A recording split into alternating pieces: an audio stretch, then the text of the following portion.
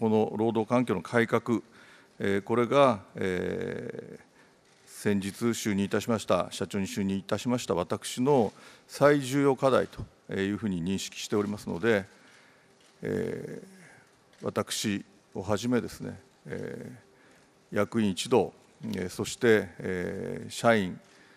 と一緒になってですね、すべての社員と一緒になって、この改革を2年で成し遂げる、そういう、そこに全力を傾けるというふうに考えております。改めまして、内外の皆様のご意見を真摯に傾聴して、そして当社に内在する問題を直視して、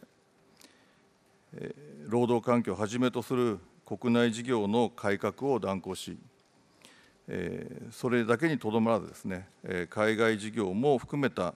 当社グループ全体の持続的な成長に向けた取り組みに